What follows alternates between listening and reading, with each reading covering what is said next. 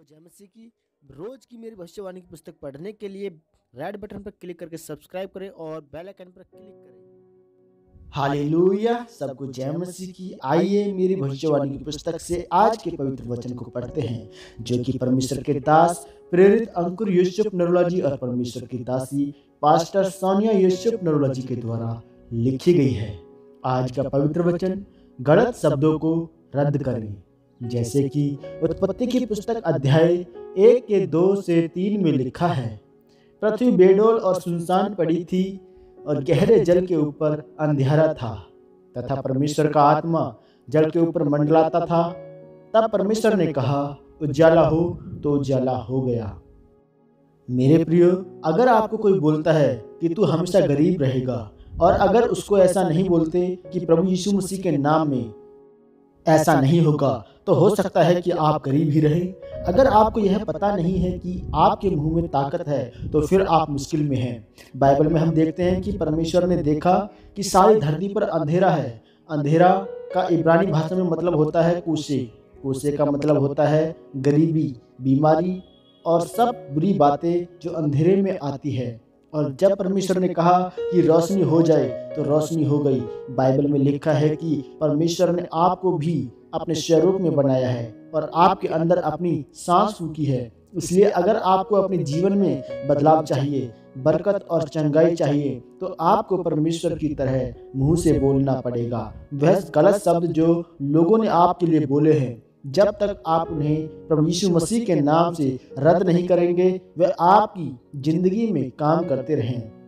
इसलिए अगर आप परमेश्वर से आशीष लेना चाहते हैं तो अपने जीवन से हर गलत शब्द को रद्द करें। बाइबल में जब हम पत्रस के बारे में पढ़ते हैं तो लिखा है कि जब प्रभु यीशु मसीह पकड़वाए गए तो उस समय पत्रस ने अपने मुँह से उनका तीन बार इनकार किया। गलत शब्द बोले कि मैं नहीं जानता कि यीशु मसीह कौन है।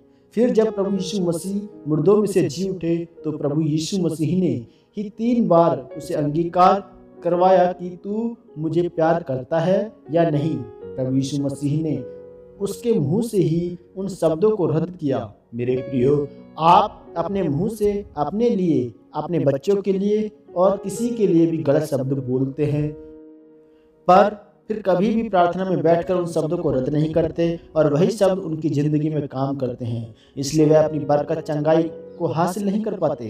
वह इस बात की ओर ध्यान नहीं देते कि उनके मुँह के शब्दों में ताकत है। इसलिए मेरे प्रियो, अगर आप चाहते हैं कि आप आशीषित हों, आपके बच्चे आशीषित हों, आप अपनी चंगाई को पाएँ तो इस बात के लिए ज़रूर प्रार्थना करें कि परमेश्वर हर एक वह गलत शब्द जो किसी ने मेरे लिए और मेरे घराने के लिए बोले हैं, वह रद्द हों और वह हर गलत शब्द जो मेरे मुँह से किसी और के लिए निकले हैं, वह भी रद्द हों।